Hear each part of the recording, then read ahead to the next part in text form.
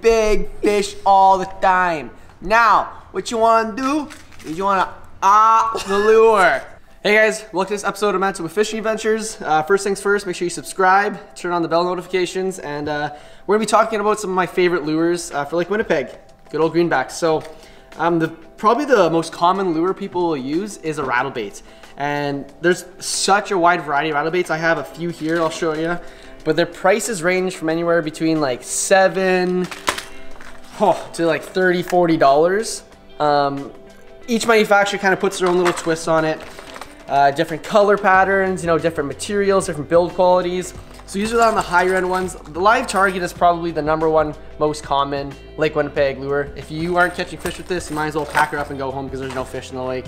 Jackall makes really high-end quality lures too. So they actually use tungsten. So when this thing's actually rattling, it's got a tungsten nose on it. So what happens is it'll actually just sit right on the spot versus if you are twitching it with another lure, it'll just come up and down. Because the weight is forward heavy, it'll just sit right on the spot and kind of bounce back like a horse. But rattle baits are good for calling in the fish. Lake Winnipeg doesn't have a whole hell of a lot of structure.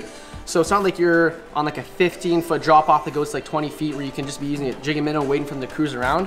A lot of times they're kind of a big bowl. Yes, there is structure on some of the different parts of the lake, but for the most time you're fishing kind of the mouth or on the west side and shallow area. There isn't a whole hell of a lot of structure. So the rattle baits are great for calling in the fish. Now, once you actually have the fish in, if you're using your flasher, you can see them and they're not biting, this can be from a really cold day or they're not really in the aggressive mood. A lot of people will go to a spoon. So here's a few, for example. Mepps and a Pelican. Pelican's actually a local company. They make all the lures here. They're nice. What you do, or what I do personally, is I take a salted minnow and I kind of wrap it around the hook. So I'll put the head on, turn it, put the body on, turn it, put the tail on. So it's kind of like a circle on the hook. And when you rip these up and let it drop, they'll flutter down and they're a much more finesse approach for walleye. So if you have them on the rattle baits and they're right on your hook, and they're not biting, not biting, not biting, try throwing on a spoon. Because a lot of the times it's just a little bit of a slow fall and they'll come up and they'll absolutely smoke your lure. And then kind of the hybrid between the two is you have rattling spoons.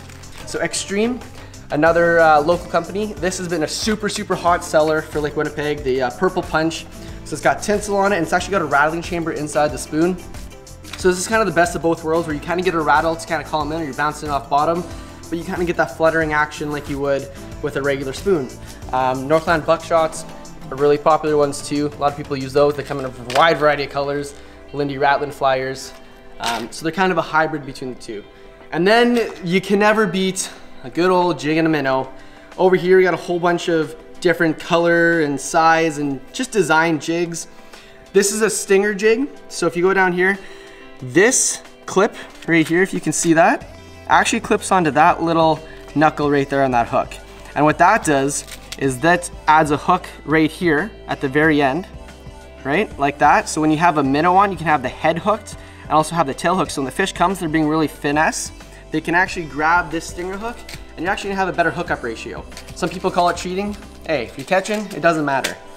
Um, that's kind of it for what I use for baits. Every year people come out with different uh, baits and different new techniques and different game changers, but this is kind of your fundamentals. Um, another kind of important tip, rods can be really important. So for rattle baits, you want a little bit of a stiffer rod because you're constantly ripping it up and down. So this is like a 36 inch medium heavy, which is super common size and action rod.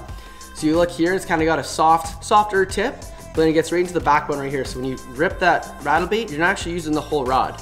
And that way, when you do need to set the hook into a fish, you have that soft tip that's always cushioned, but you have that backbone if you need to force them in. Um, for just jigs and stuff, when you're going nice and once again finesse, or even spoons, you need with like a 30 inch medium, right? It's a little bit softer, not quite as stiff, um, but works very well for feeling the bite.